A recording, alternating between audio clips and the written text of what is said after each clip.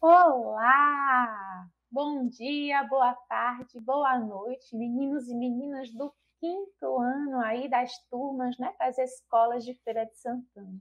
Olhem só, a Pro deseja aí que estejam dispostos, né, estejam bem aí ativos para a gente assistir mais uma videoaula, né, para vocês aí conseguirem responder, resolver as atividades que a Pro o professor preparou. Então, vamos lá saber ó, sobre o que nós estudaremos na videoaula de hoje. Olha só, turma, nossa aula agora é de matemática e ciências naturais. E aí, nesta aula, nós vamos estudar sobre. Hum, olha só, uma pergunta. Preciso me preocupar com a higiene dos alimentos? Olhem só. Em aulas anteriores, nós observamos a importância da higiene como uma ação necessária em promoção de saúde. E a gente já percebeu que a higiene, ela faz parte, ela deve fazer parte das nossas atividades cotidianas, seja as, atividades relacionadas, né, as ações relacionadas à higiene do nosso corpo e também dos ambientes em que a gente está, em que a gente participa na nossa casa, na escola e nos demais locais que nós frequentamos aí no nosso dia a dia. Mas agora a gente vai observar a importância da higiene quando a gente vai falar dos nossos alimentos, daquilo que a gente vai ingerir, daquilo que a gente vai colocar para dentro do nosso corpo.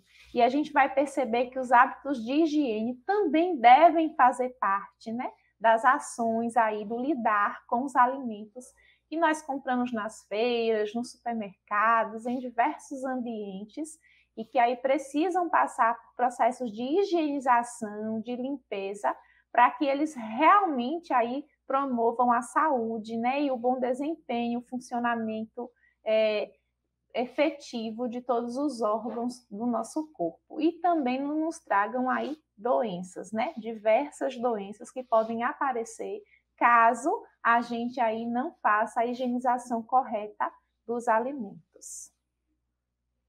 Para iniciar, a Pro preparou um vídeo aí com a leitura desse livro que se chama A Cesta da Dona Maricota.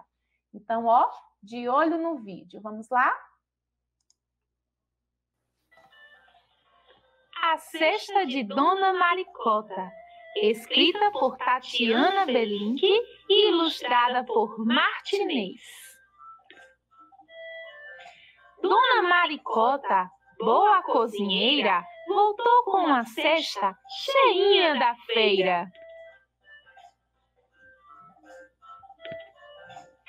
Cenoura, laranja, pepino e limão, banana e milho, ervilha e mamão, morango, espinafre, tomate e cebola, alface, palmito, maçã e escarola.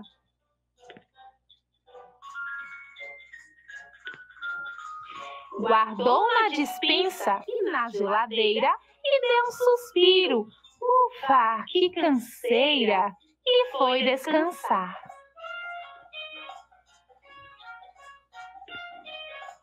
Então essas verduras, legumes e frutas fresquinhas, maduras, todos animados, depois da viagem, puseram-se logo a contar vantagem.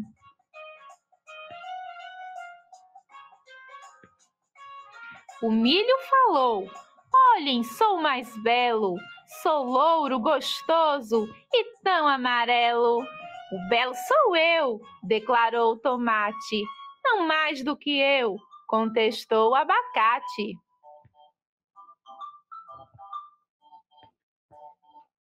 Pois olhem para mim, provocou o palmito.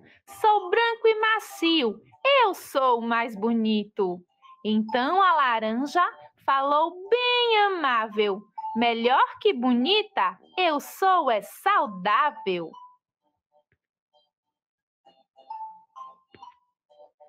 E logo o espinafre gritou: Não tem erro, sou verde saudável, sou cheio de ferro. Falou a cebola: Aqui, atenção, saudável sou eu, boa pro coração. e disse a ervilha: Eu sou pequenina, por fora, mas dentro tenho proteína. Logo Limão disse: Quem é que não vê? Tenho a vitamina preciosa, a tal C.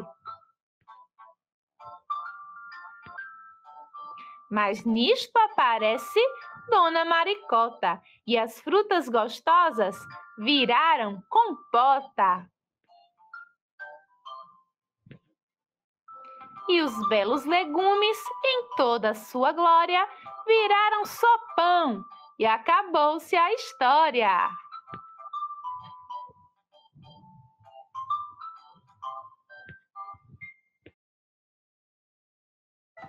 a dona Maricota, quanto às frutas, as verduras, os legumes, eles fazem parte aí da nossa alimentação e eles podem né, contribuir com é, nos oferecendo aí as vitaminas, as proteínas, é, os nutrientes que o nosso corpo precisa para agir, né, para é, funcionar de forma saudável a gente sabe aí que os alimentos eles precisam né, compor aí, fazer parte do funcionamento do nosso corpo.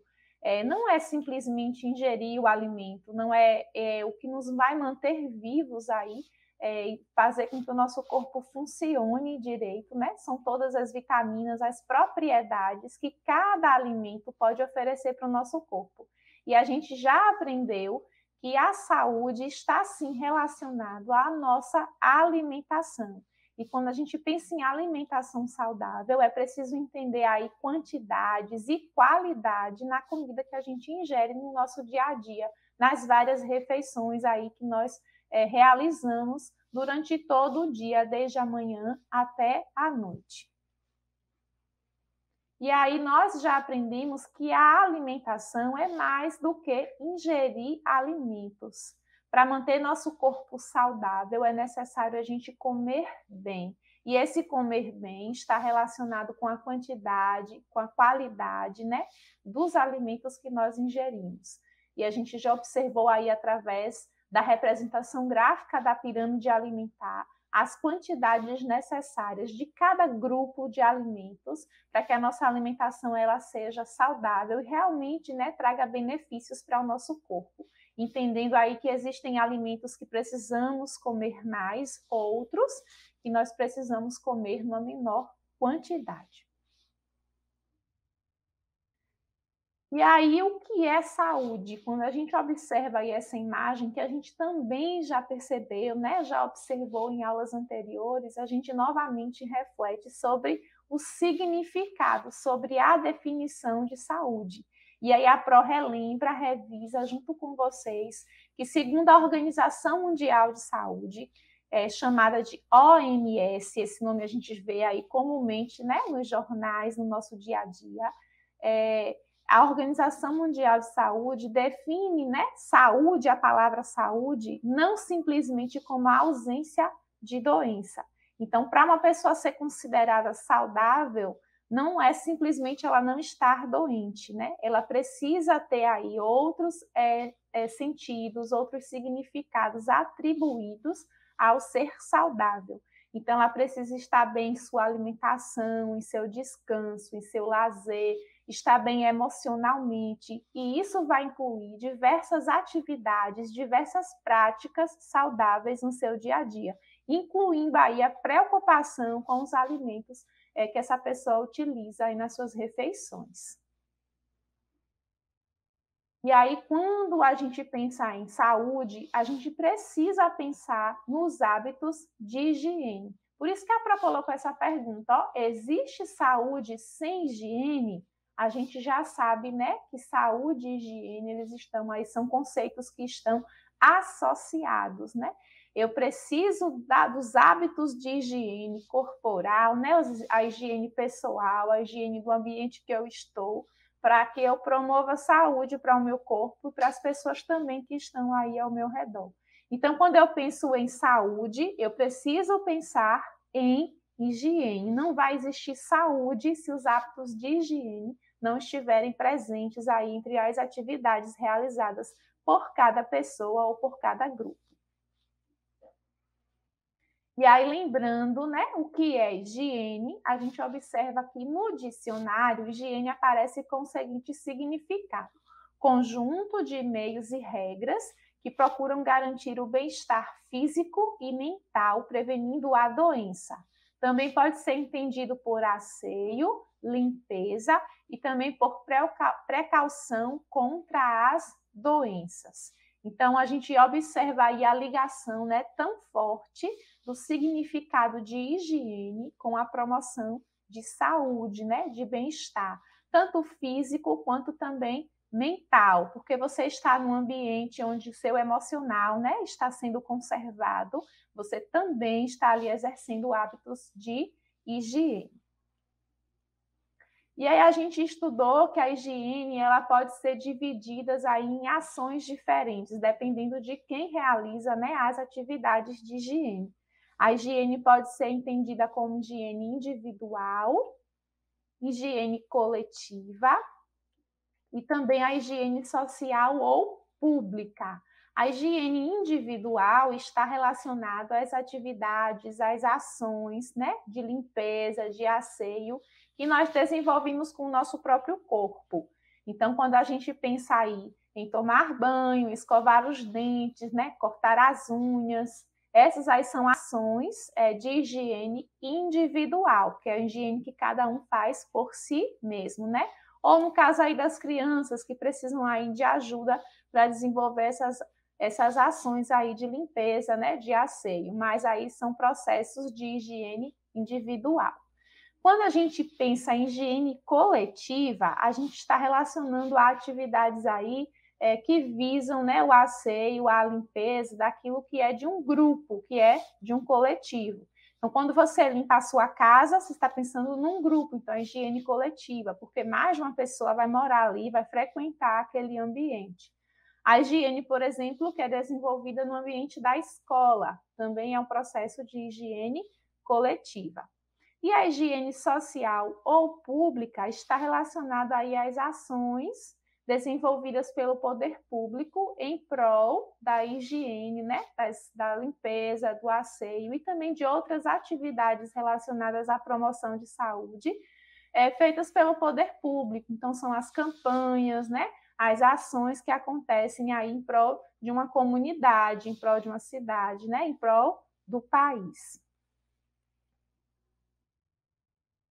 E aí, quando a Pro coloca essa imagem, a gente pensa em esse ato de higiene que acontece aí nas casas, que é a limpeza dos alimentos, né? O asseio, a higienização dos alimentos que nós vamos ingerir nas, nas várias refeições, no café da manhã, no almoço, né? No jantar, no lanche, quando a gente come aí uma fruta.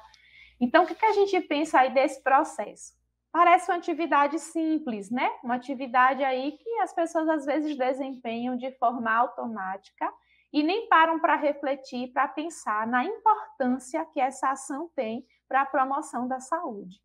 Então, assim, é uma atividade que com certeza a pandemia intensificou, fez com que nossas preocupações é, fossem aí aumentadas, né, em relação a higienizar os alimentos, porque as campanhas em prol aí da prevenção, né, do Covid é, fez com que é, esse, esses anúncios de que a gente precisa higienizar as mãos, usar máscaras, também foi para a questão de higienizar os alimentos. Então, é mais comum, é mais é uma prática que a gente vivencia com mais intensidade, principalmente depois da, da pandemia, mas é algo que a gente vai levar para a nossa vida e que a gente precisa entender que não só para o Covid, né, mas para outras doenças, o processo de higienizar os alimentos é algo necessário e vai proteger o nosso corpo aí de diversos problemas, de diversas dificuldades, né, que os alimentos contaminados podem trazer. Então, essa atividade aí, lavar a fruta, lavar a verdura, né, é algo que precisa acontecer no dia a dia da nossa casa por diversas funções, né, por diversas intenções, mas o mais importante é pensar aí é, no quanto de saúde a gente vai estar oferecendo para o nosso corpo Além aí de oferecer os alimentos que são tão necessários, a gente vai poder ingerir alimentos limpos, né? Livre aí de micro-organismos, livre de bactérias e de outros produtos químicos que podem contaminar os alimentos e trazer aí doenças e problemas de saúde para as pessoas que vão comer, que vão ingerir alimentos contaminados. E aí a gente fala então de higiene dos alimentos. A gente observou aí em relação aos tipos de higiene individual, coletiva, né, pública.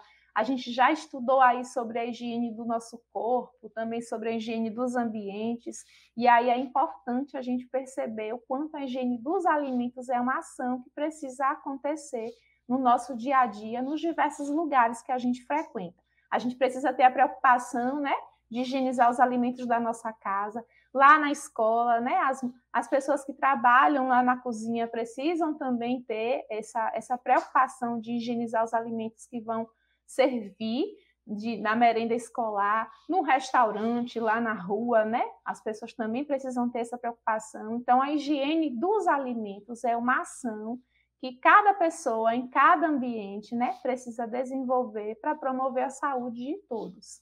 A contaminação de alimentos e produtos alimentícios ocorre aí por diversos fatores, tais como microorganismos, que a gente já observou aí, que são é, organismos minúsculos, né, que a gente não consegue observar ao olho nu, né? A gente só consegue observar através do microscópio, entre eles vão estar aí vírus, bactérias, que podem trazer, né, desenvolver doenças e outros problemas de saúde aí também para as pessoas.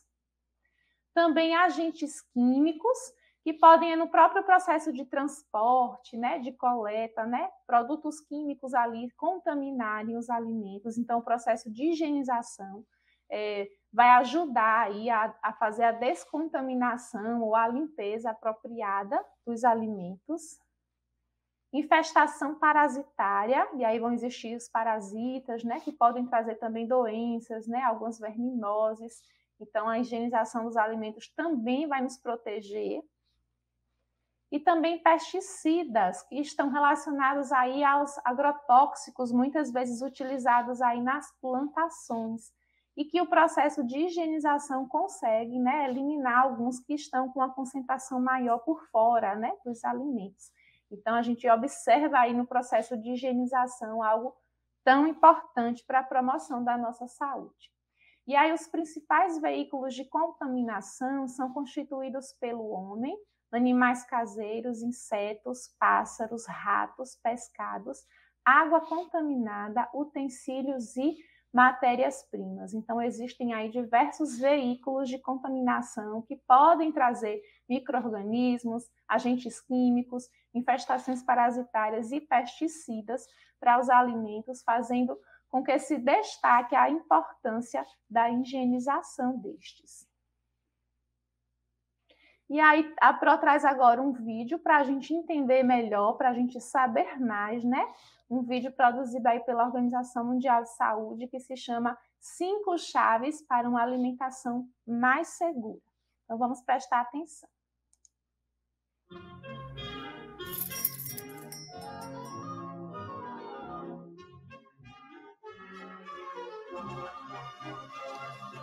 Entre nós, nas nossas casas e perto dos alimentos que comemos, vivem algumas criaturas misteriosas, pequenas, mas extremamente energéticas. Realmente bem pequenas. Estas criaturas são os microorganismos, seres vivos extremamente pequenos. Existem três tipos de microorganismos. Os bons, que ajudam a produzir alimentos e bebidas, tais como o queijo e o iogurte, a carne e os vegetais fermentados. Outros micro-organismos são inoportunos. Estes são os maus. Eles são responsáveis pelo mau cheiro, gosto desagradável e aparência repulsiva da comida podre. Mas normalmente não causam doenças. Mas existe um outro tipo de micro-organismos do qual devemos ter receio. Eles não fazem com que os alimentos cheirem mal, nem alterem a aparência. Esses são os perigosos e é necessário ter muito cuidado com eles. Estes são conhecidos como microorganismos patogênicos e podem causar doenças graves, tais como dores de estômago, vômitos, diarreia, febre e até a morte. Eles nos enganam, são invisíveis e perigosos. Estes pequenos seres são muito, muito prolíficos. Para aumentarem o seu número, eles precisam de alimento, água, tempo e calor podem multiplicar-se muito rapidamente. Felizmente, apesar de fortes e assustadores, estes micro-organismos são vulneráveis. E podem ser evitados. Tudo o que é preciso são cinco regras simples. Cinco comportamentos-chave para nos livrarmos deles.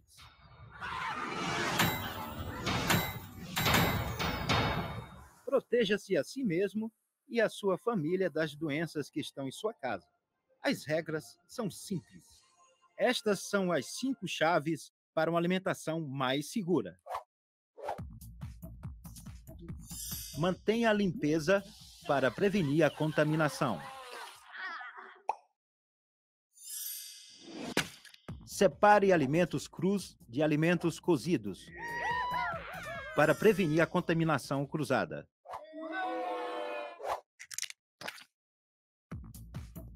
Cozinhe bem os alimentos para matar os micro-organismos.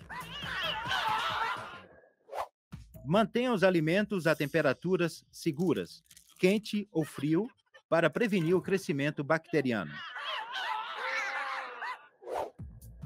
Use água e matérias-primas seguras para evitar contaminação. Os produtores de alimentos são os primeiros responsáveis pela segurança dos alimentos que compramos mas proteja-se e proteja a sua família, aplicando em sua casa as cinco chaves para uma alimentação mais segura. Use-as. A responsabilidade também é sua. No vídeo aí a gente observou, não é? Quantos micro-organismos estão presentes no, no, ambiente, inclusive nos alimentos que estão presentes na nossa, nas nossas refeições. E aí existem cinco chaves para uma alimentação segura. Mantenha a limpeza, separe alimentos crus dos cozidos, cozinhe bem os alimentos, mantenha os alimentos em temperatura segura e use água e matérias-primas seguras. E a gente percebe logo na primeira chave, né, a importância da higienização como um processo que vai auxiliar, né, na limpeza e tornando a, o processo de alimentação, a ingestão dos alimentos, algo que realmente contribui para a nossa saúde e não nos traz aí diversas doenças.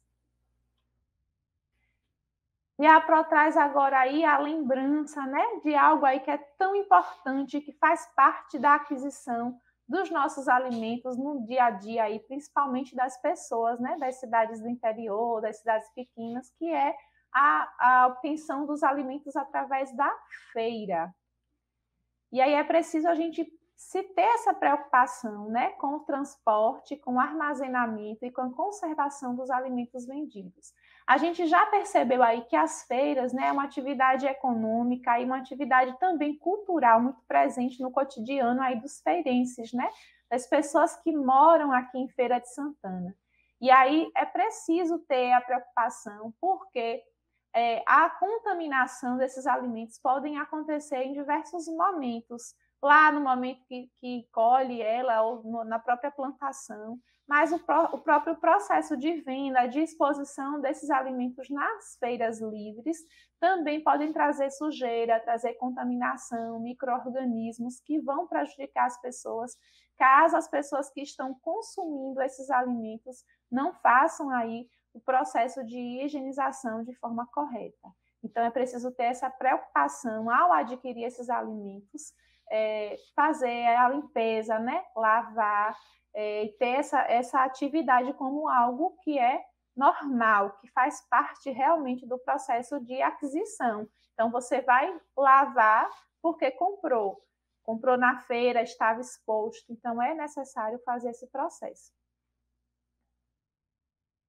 E aí a Pro traz essa pergunta para a gente pensar um pouquinho. Onde e como são comprados os alimentos na sua casa, né?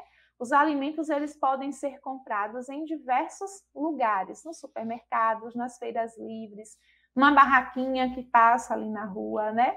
Para comprar esses alimentos, a gente precisa de dinheiro. Então, independente de onde, o, o, do local onde o alimento, né, a fruta, a verdura foi adquirida, ela precisa passar pelo processo de higienização.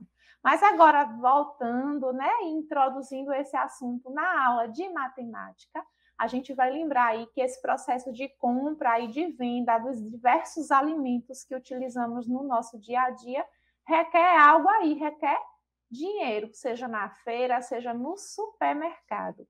E aí a gente vai estudar um pouquinho sobre sistema monetário. E aí, por falar em sistema monetário, aí a Pro traz a explicação do que é sistema monetário. Um sistema monetário é um conjunto de regras e instituições cujo, cujo objetivo é organizar a moeda em um determinado espaço monetário. Os sistemas monetários costumam ser de responsabilidade de cada país e administrados como parte da política econômica nacional. Então, os sistemas monetários né, são característicos de cada país. Cada país possui aí a sua moeda, né, a forma de organizar as atividades econômicas e de determinar né, os valores que vão ser ali utilizados nos diversos produtos é, e atividades comerciais e econômicas que vão ser desenvolvidas né, em cada país. O Brasil começou então a produzir as suas próprias moedas ainda em 1694, com a criação da Casa da Moeda da Bahia.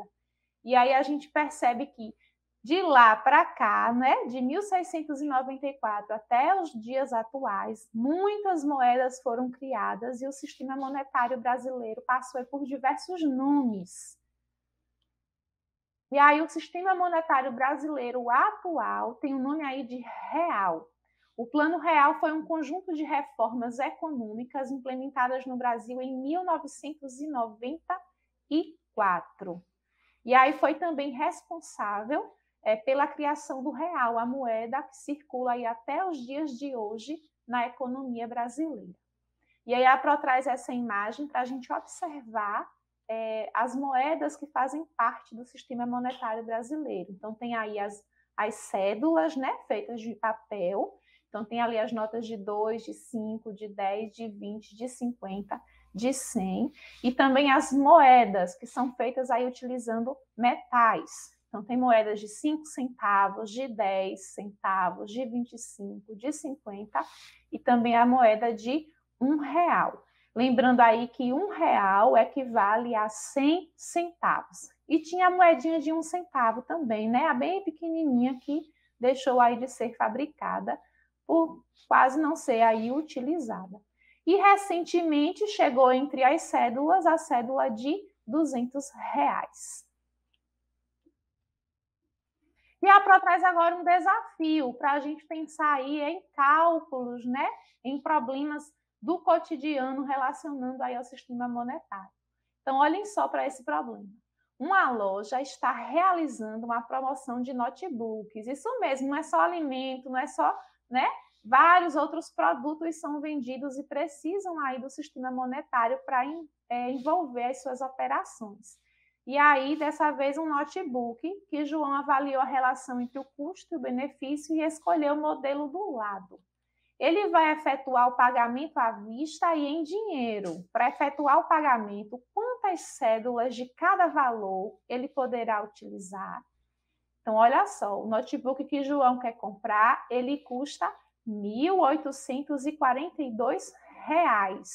A Pro colocou aqui esse preço de duas formas diferentes, né?